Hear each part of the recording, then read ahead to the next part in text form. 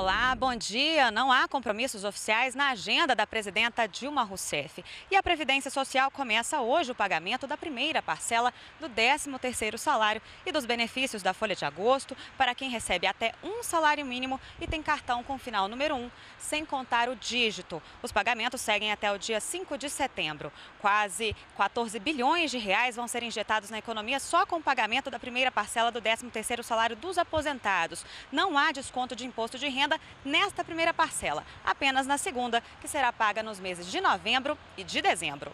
Isabela Azevedo, direto do Planalto.